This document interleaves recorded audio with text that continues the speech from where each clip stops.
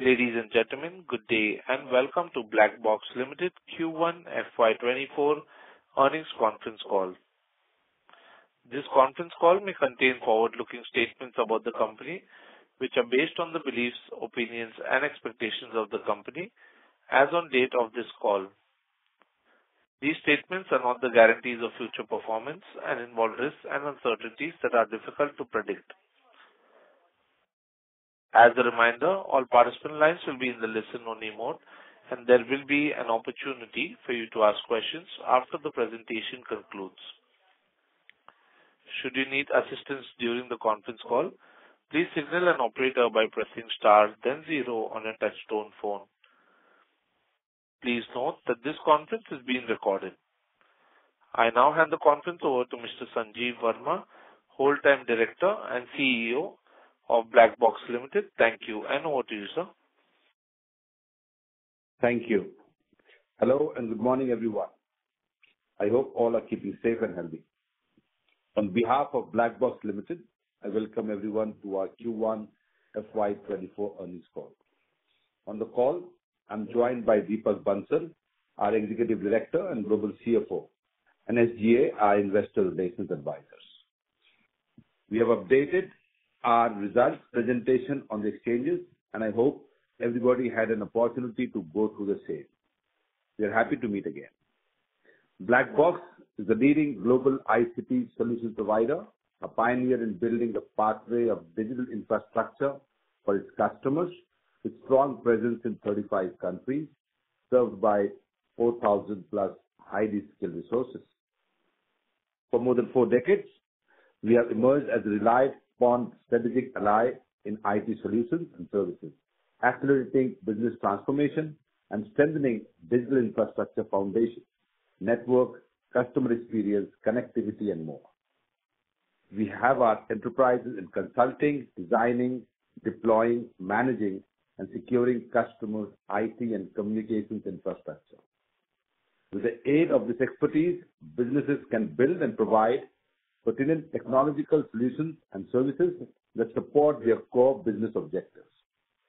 Our endeavors actively steer the evolution of digital infrastructure, reaching across continents and embracing diverse culture, all underpinned by our astute global approach. Think global, act local. Our global strategy enables us to maintain relationships on a global scale. This approach ensures not only relevance, but also offers our customers the flexibility to achieve cost-effective deliveries across 35 countries from our center of excellence in India. This quarter, we continued to report a robust performance. For the quarter gone by, if you look at the deal wins above 1 million value, we have reported deal wins of 45+ million. Last year, same quarter, the deal wins was in excess of $35 million. So we have started the year on a positive note with strong performance across our business areas. We have seen significant performance in building 5G solutions, connected building, on-demand and digital work solutions, data centers, and cybersecurity. Our cybersecurity business is gaining good traction, and we're increasing headcount in this vertical to grab opportunities that lie ahead. Our dedicated focus and investment in the data center space has been highly equipped. The data center market, particularly with the influence of hyperscale and cloud providers, is projected to experience substantial growth in the coming years. We stand ready and well prepared to embrace the opportunities that lie ahead. Presently, we proudly serve three out of the five major hyperscalers, cloud, social media enterprise as our esteemed clients, and we are thrilled to announce that we have recently advanced another customer in this space to a total annualized contract value of $100 million, making significant milestone for our company. This robust performance can be attributed to our robust order book, which is evident in our new order wins and efficient execution capabilities. The consistent expansion of order book, even in the face of challenging economic environment, serves as a testament to the resilience of our business model. Last quarter, we announced that we signed a definitive agreement to acquire Global Speech Networks in Australia. We have completed this transaction and further continue to look after good acquisition opportunities which in line with our stated strategy of looking out for businesses that offer growth potential by generating sales and revenue with suboptimal margin profile. The business must align synergistically with our current operations, enabling us to onboard new customers, amplify existing business endeavors, facilitate expansion into unexplored geographic regions, and build new capabilities. This acquisition and this acquire and scale methodology has worked out well for us, helping us to turn around the business quickly and bring short-term synergy. We are further optimistic on our growth plans and are well on track to achieve our guidance for fiscal 2024. That is it from my side. I now hand over the call to Deepak to run through the financial highlights. Thank you, Sanjeev, for the detailed overview. Good morning, everybody, and I will now discuss our financial performance for quarter one, FY 2024. Revenues for quarter one, FY 2024, witnessed a growth of 15% year-on-year of to INR 1,571 crores from INR 1,372 crores in quarter one, FY 2023. This growth in revenue is on account of strong order book reflected in new order wins each quarter and larger share of wallet from existing customers. Quarter-on-quarter revenue was impacted little bit due to a dip in TPS segment revenues. However, we are optimistic that this segment will recover and return to growth trajectory from quarter two, FY 2024 onwards. EBITDA for the quarter increased by a remarkable 67% year-on-year to INR 89 crores from INR 54 crores in quarter one, FY 2023. Please note the EBITDA for quarter one, FY 2024 excludes the gain on cash flow hedges to a tune of INR 2 crores. Our dedicated focus on cost rationalization and improved productivity have started to yield positive results, increasing our EBITDA margins by 180 basis points year-on-year to 5.7% in quarter one, FY 2024, from 3.9% in quarter one, FY 2023. Profit after tax for the quarter grew by robust 56% year-on-year from INR 15 crores in quarter one, FY 2023, to INR 24 crores in quarter one, FY 2024. This substantial growth was partially offset by escalation in finance costs, primarily attributed to the upward trend in the interest rates. Earning per share, uh, uh, we reported an EPS of 1.43 rupees per share in quarter one, FY 2024, versus 0.93 per share in quarter one of FY 2023. With a substantial performance across our business parameters, coupled with good traction in cybersecurity, data centers, and all our business areas, we expect the margin enhancement trend to continue, boosting our confidence in achieving stronger profitability in fiscal year 2024. That's all from my side. I will now request Sanjeev to join me for Q&A. Thank you very much. We will now begin the question and answer session. Participant present on the audio bridge who wish to ask a question may press star and one on their touchtone telephone. If you wish to remove yourself from the question queue, you may press star and two. Ladies and gentlemen, we will wait for a moment while the question queue assembles. The first question is from the line of Palak Shah from Billion Securities. Please go ahead. Uh, Good morning, sir. Thank you for the opportunity. My uh, first question is on, like, last quarter, we mentioned that we have a large order backlog backlog from North America. So how did the first quarter went by? Like, how is the demand scenario panning out, and uh, are we seeing any new geographies showing the same trend, demand trends like North America? Yeah, thanks, Palak. Uh, Sanjeev here. Our demand trends continues to be strong, Uh, considering that we are largely in the non-discretionary spend and with the hyper activity, specifically in the data center infrastructure we continue to see our pipelines uh, grow. So I think our expectation for order book continues to be strong. We don't expect any uh, any significant impact of anything around our order book in any geography. Uh, okay, sir. Uh, my next question is on uh, our CapEx. So like we to achieve revenue of roughly about 7,000 crores, what is the CapEx that we need to do? Like, what all areas are we looking at for the CapEx? I can- Palak, we. Sanjeev. Yeah, Deepak. Sorry, you go ahead. Yes, we are not a CapEx-centric uh, organization, Palak. I think uh, we are a CapEx-light organization. We do not have any significant CapEx except for uh, providing technology infrastructure to our employees, be it laptop or desktops and certain office infrastructure. We do not have any CapEx specifically. I think Deepak can give you an idea of overall number. Deepak? Yeah. Yeah. So our CapEx, like Sanjeev told, is that that mostly related to the servers or IT equipment and technology and whatever we are doing, like the integration of the technology and all those things from the software side.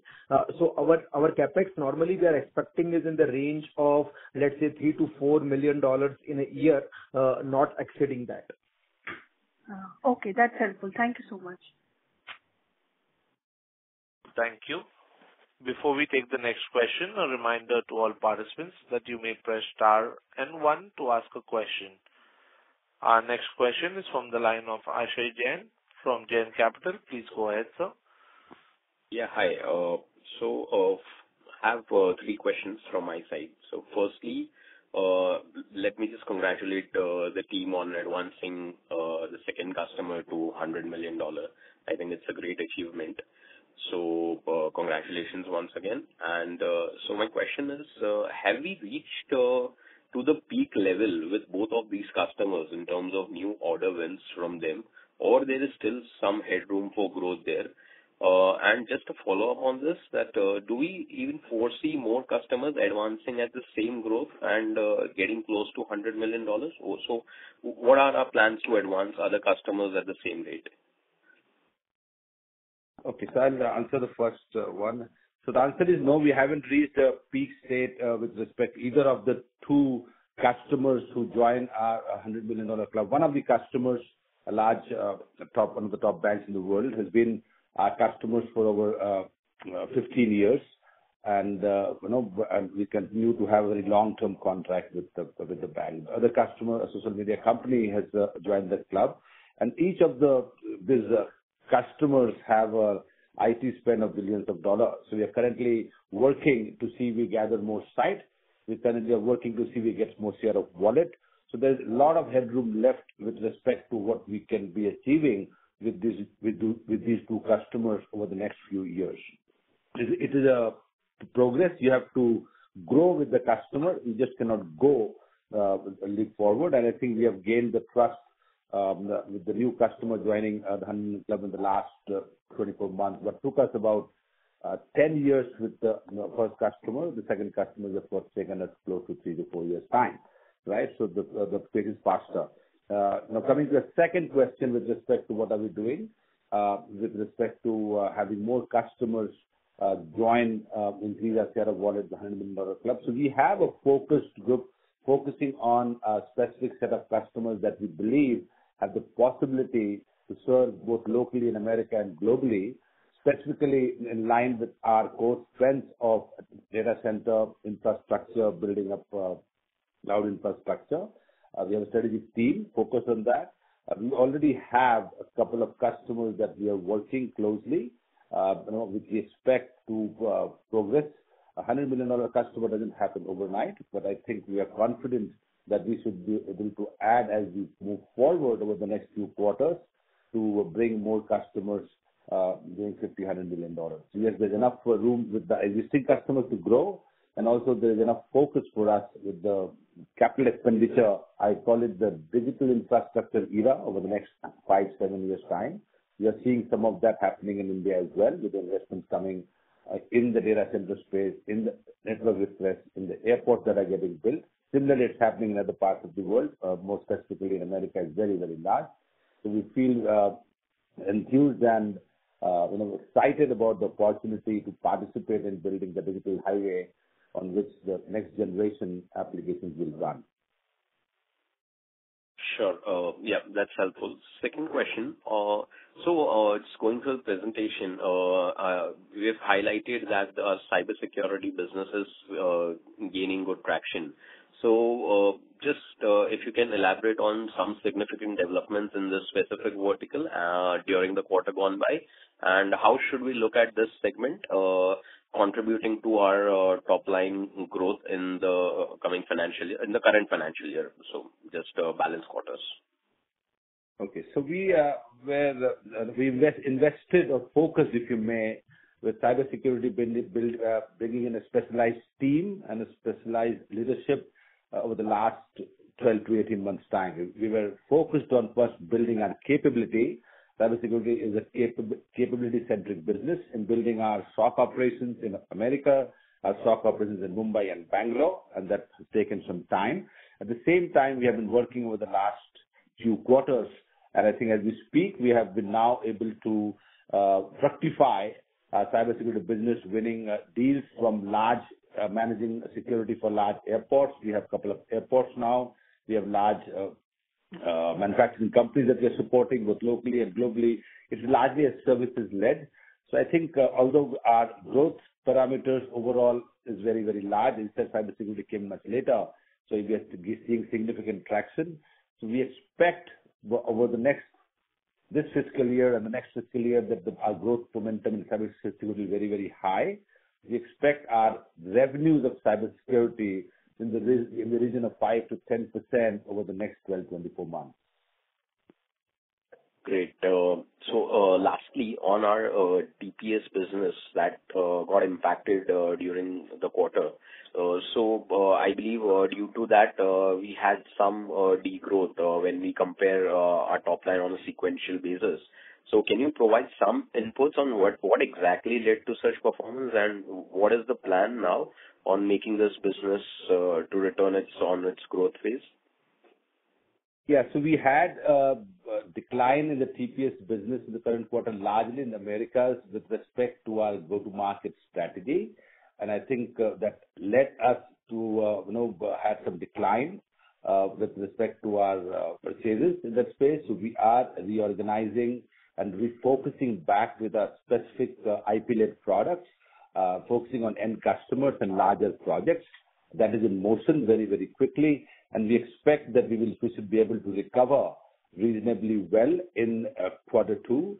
At the fact of certain supply chain challenges, we were also behind in meeting some federal contract supplies that happens in a specific time, and we couldn't do that, and therefore we lost a couple of million there as well, Uh, which we expect to recover. So with our change in go-to-market strategy focusing on end customers, uh, with our uh, rebalancing our supply chain portfolio to address some of the large projects for the federal customers, we expect a large recovery in that in quarter two itself. And we expect that we should be able to catch up and not impact our overall plan for TPS for the fiscal 2024.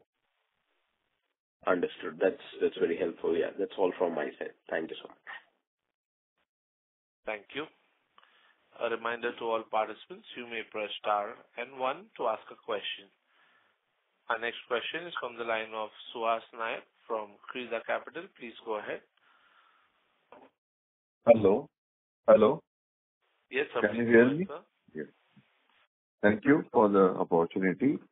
I have a couple of questions. First question is on the uh, overall, uh, you know, you sound quite optimistic about the outlook for your business.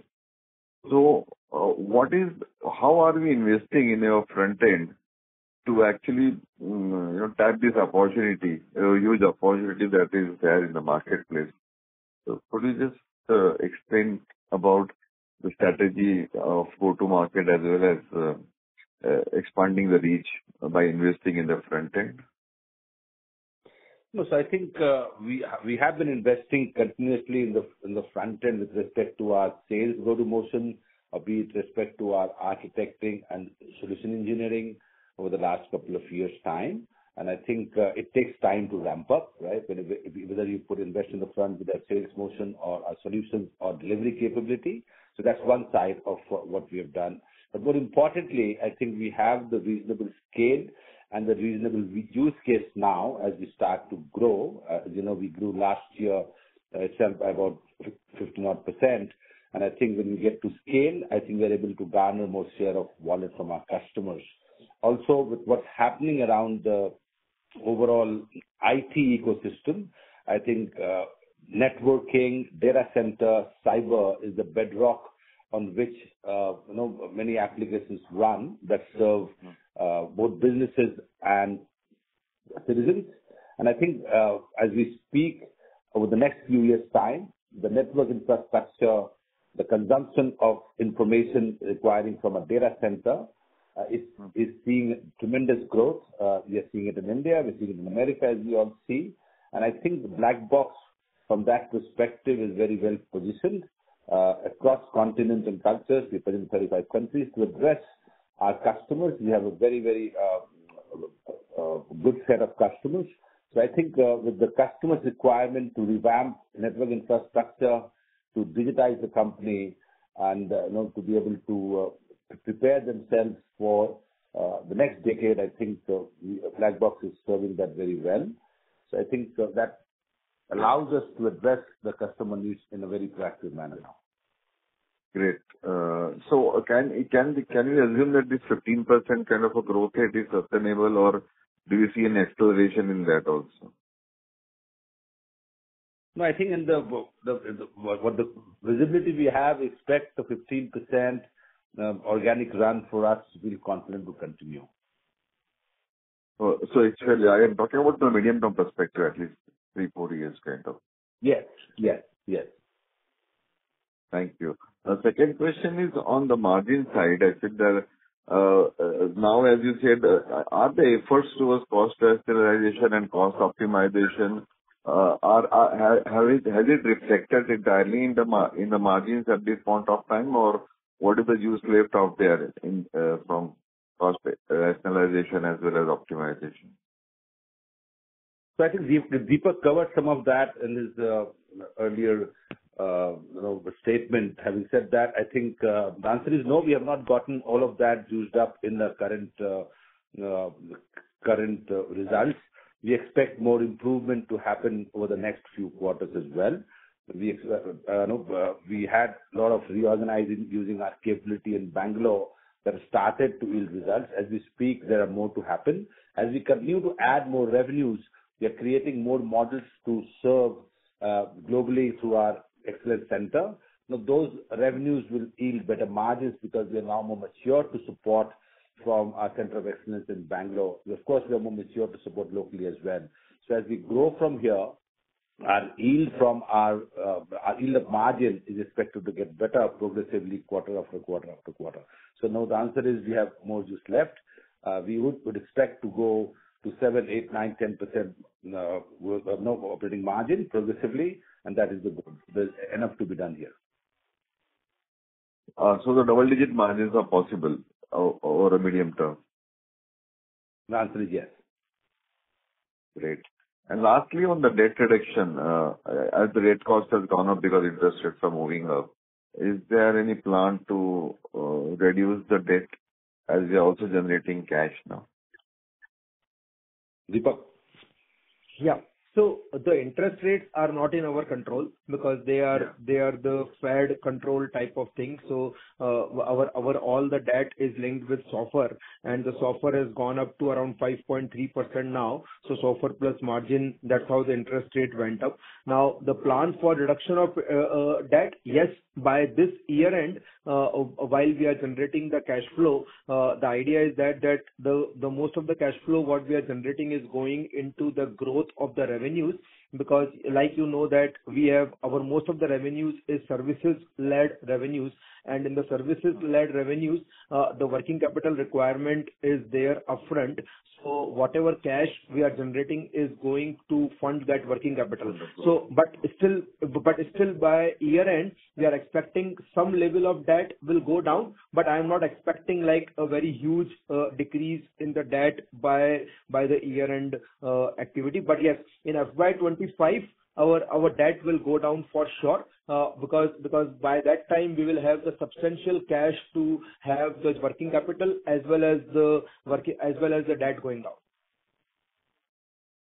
Thank you, Deepak. Last question, if I can squeeze in, it's regarding the inorganic strategy, because that is also one of the important pillars of our growth strategy. So, uh, are you seeing any opportunities uh, in the inorganic space? And if yes, Uh, what size we are talking here? So we have, I think we have stated that and uh, consistently that we remain opportunistic with respect to our inorganic strategy. So we remain interested in the inorganic strategy. Having said that, I've also stated in earlier part that uh, we are not emotional about economics, so we wouldn't just want to add acquisition because we want to add revenues. We want to see whether we can add value, whether it can be accretive to us, and we are value buyers, so that we can see uh, we can uh, return uh, to our shareholders in terms of bringing our value. So that's our thesis.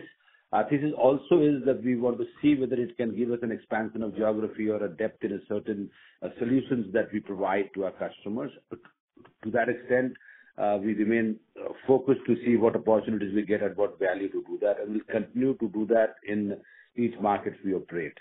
Having said that, our sweet spot in general, of course, we have done some tuck-ins. As range of $50 million-$100 million is kind of our sweet spot to see that we are able to acquire. Okay. Is there anything under active consideration at this point of time?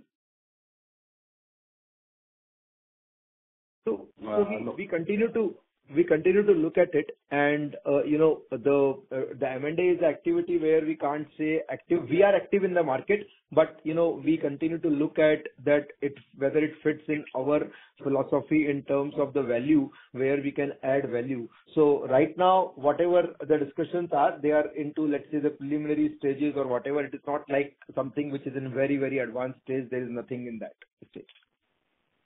Thank you very much, and all the best to the team. Thank you. Yeah. Thank you. A reminder to all participants, you may press star and one to ask a question. Our next question is from the line of Jeevan Patwa from Sahasrar Capital. Please go ahead. Uh, so I have uh, one question on the uh, financials. In the financial, in the P&L, we have seen uh, shown the difference between uh, in the depreciation and the finance cost for Ind AS and uh, the book value. So just want to understand that. So, Yeah. Why is it different?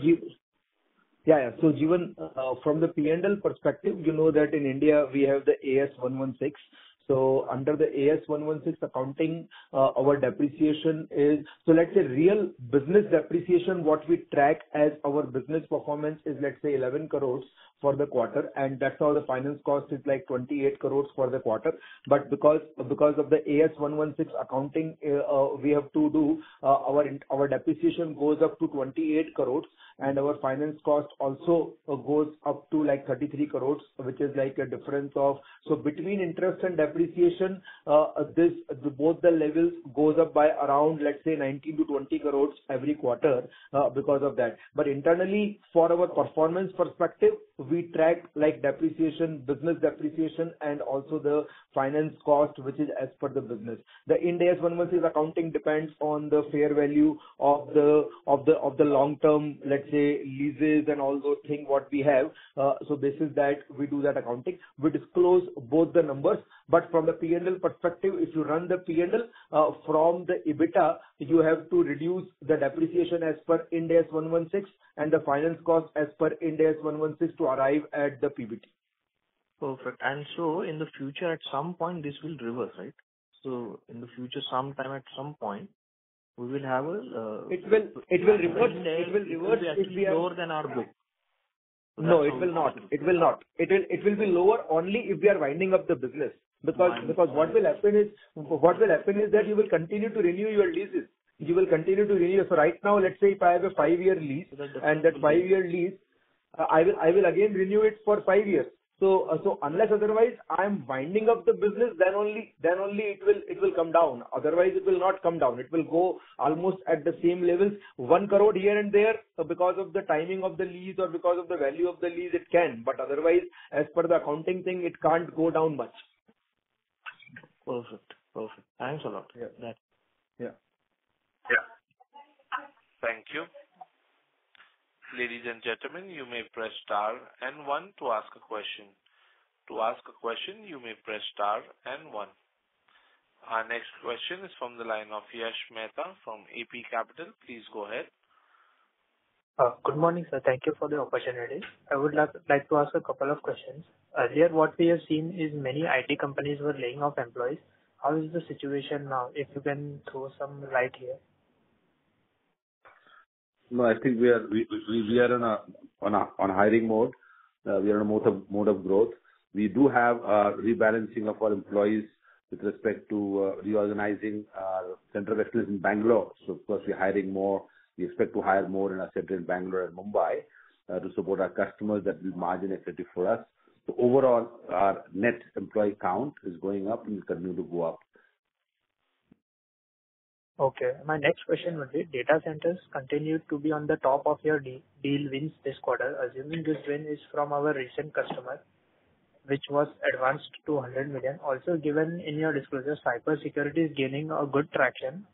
Can we assume that we we can see the same performance that is uh, good deals in cybersecurity the way we are seeing in data centers?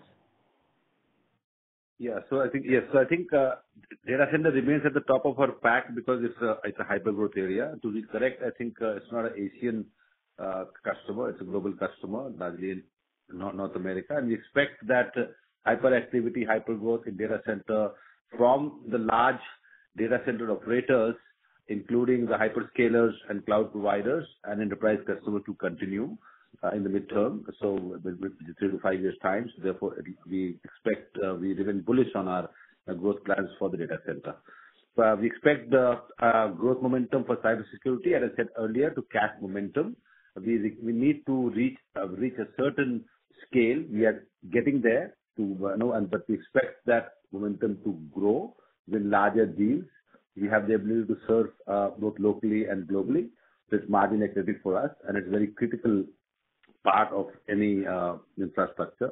So the answer is yes, we expect the cybersecurity growth momentum to start to increase pace as we move forward from here. Okay. Uh, Thank you. That's uh, that's all from my side. Thank you. Before we take the next question, a reminder to all participants, you may press star and one to ask a question. Our next question is from the line of Akash Mehta from Kapaz Investments. Please go ahead.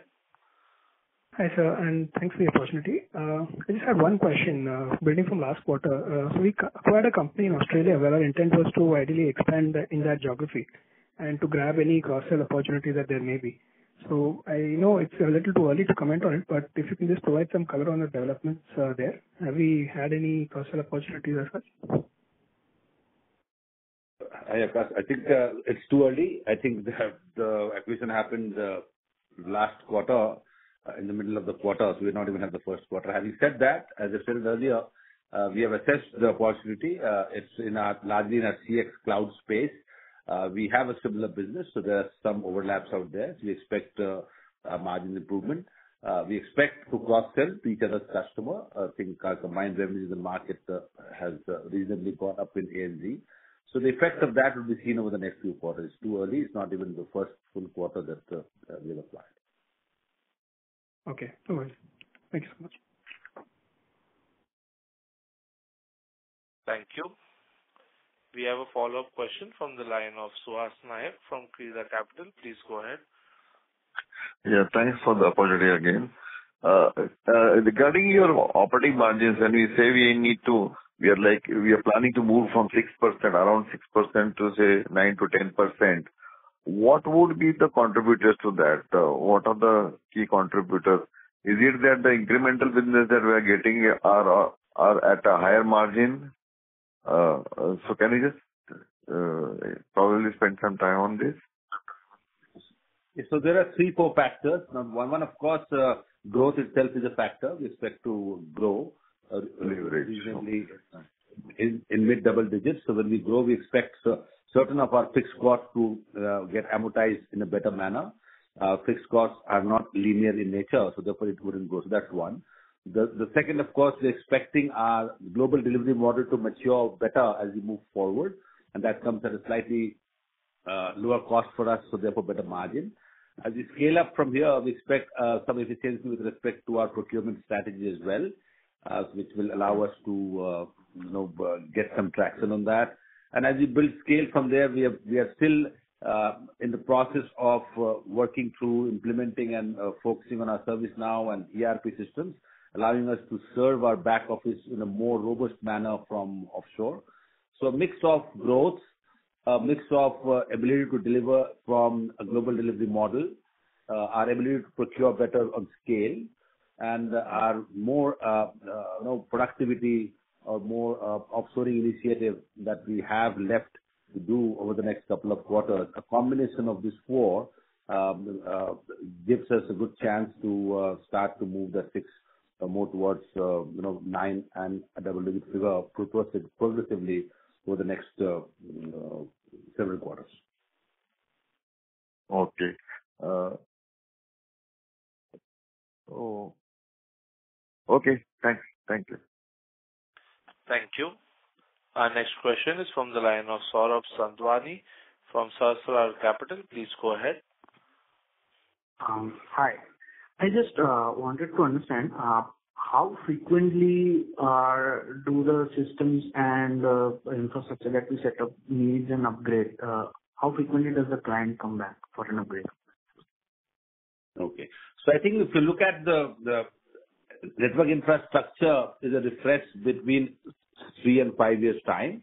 Uh, some of them are on three years' time. Some of them are five years' time. It also depends on the economic situation and the financial situation of the customer and where they put the money. But in general, a refresh for infrastructure, be it network, server, storage, wireless, wired infrastructure, is between three and five years' time. Some investments with respect to cybersecurity are more frequent because uh, there's a massive change in threats going forward. So that doesn't follow the cycle. It can be as quick as a year or two years, depending upon what the customer wants to do. But in general, our cyclical refresh of our businesses uh, from a new deployment perspective would happen between three and five years' time.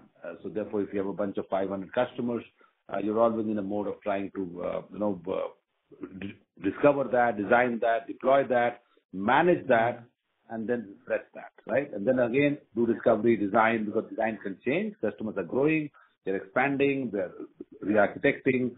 So it's a continuous process, but a reasonable cycle is between three and five years. Okay. And so so right now, given that 5G has come in, we we are in the new refresh cycle, right? No, I think it's different for every customer, right? Some of them are in third-year cycles, some fourth, some fifth-year cycles. So continuously, we are assessing some are in expansion mode. If you look at some of our manufacturing customers, they're putting up semiconductor plants, massive. Those are greenfield projects. Uh, so those are new, right? And then, of course, we have customers like banks who possibly did a refresh three years back. That's coming up now. So it's a continuous process of mapping an account, correct? So there's no Uh, so every customer is in a different cycle of orbit based on when their capital expenditure happened in the past, what their growth strategies are, what new systems they want to bring. And uh, so the greenfield that we will do now is three to five years' time, but hundreds of customers have had their third year now, the fourth year coming, or the fifth year. They're trying to mm-hmm. refresh that. And of course, we also provide uh, managed services, maintenance contracts after we do a project. So when we do discover, design, deploy, then we manage and support. And then over a period of time, three years, four years, five years, we again do discovery, again design, again deploy. Okay. Okay. And uh, one question regarding the automotive sector. So now with the uh, connected cars and EVs, So have there been any initiatives from the automotive companies to set up some uh, infrastructure for, you know, collecting the data from their new vehicles or anything? Okay. So many of the... Uh, that's a good question. So many of the uh, automotive companies, of course, uh, are working towards, you know, connected cars, as you say, but they are... And the connected cars data, they are not a data company, they are a car-making company. So they possibly port the data to cloud companies, right? So they can possibly go to Amazon or go to whatever it is. Very few of them possibly will build their own data center. Tesla could be one of them, but many others would use the cloud that is getting built. And if you look at what we are doing, on the other side, we're helping build that cloud data center for some of those large hyperscalers that will provide the data management capability to the car companies. So the car companies would keep the data with the cloud companies. So therefore, we are building data center for the cloud companies. Okay. Okay. Yeah. Thank you. Thank you. That's all. Thank you. Our next question is from the line of Yash Parekh from Mirae Investments. Please go ahead. Yeah, thanks for the opportunity. I just have a couple of questions. First is, earlier we have seen the impact of severance cost, which uh, weighed heavy on our profitability. So what was the cost this quarter? Like, we have seen the entire impact of uh, severance cost, or there is some more impact that we can expect in this current financial year? Deepak, you want to take that? Uh, sorry, can you, can you please repeat your last part of the question again? It was not audible to me fully. Uh, we have seen the impact of severance cost, or have we seen this impact, or is there some more impact that we can expect in this financial year of severance cost? Yeah. So severance cost, uh, uh, I think the major majority of the severance cost was done in the March quarter. Uh, but yes, we will continue to see some part of the severance cost still, because we continue to uh we continue to see that lot of people what we have identified, they are all... We are, we are we are let's say, reducing them in parts and pieces, so that the business should not be impacted. So as and when they are going, if there is anything which we have not accrued on their cost, and there is some cost, let's say, which goes up and down, that cost will continue to come. But we are not expecting in the range of what we have expected in what we have done the numbers in the month, in the in the March quarter. But yes, some of the cost in the range of between, let's say, 2 crore-4 crore every quarter will still continue, because we continue to look at optimizing the resources and hiring the more resources in India uh, to deliver the work. Oh, fair enough. One more question. Uh, globally, companies are witnessing pressure due to inflationary trends. Like, how do you look at this macro environment? Also, given such inflationary trend continue to persist, do we still remain confident to achieve our guidance for this fiscal year? I'll take that. Yeah, so I think, uh, uh, so the fact of the matter remains that there is an inflationary trend. There's also pressure on our interest costs.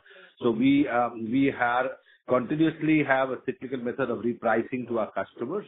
Uh, more specifically, for all new bids, of course, we take every quarter repricing mechanics to adjust our um, sale price or relook at our costs. And also, as and when we get a chance to renew our customers, we definitely reprice it. So we are working to see that we are inflation neutral from that perspective, uh, with our all ongoing projects and sales process, and also on all opportunities to renew our customers, uh, going forward. Okay, fair enough, sir. Thanks for the opportunity. That's it from my side. Thank you. Ladies and gentlemen, that was the last question of our question and answer session. I would now like to hand the conference over to Mr. Sanjeev Verma for closing comments. Thanks. With this, I would like to thank everyone for joining on the call. I hope we have been able to address all your queries. For any further information, kindly get in touch with me, Deepak, our Strategic Growth Advisor, our investor relations advisors. Thank you. Thank you. On behalf of Black Box Limited, that concludes this conference. Thank you for joining us, and you may now disconnect your lines.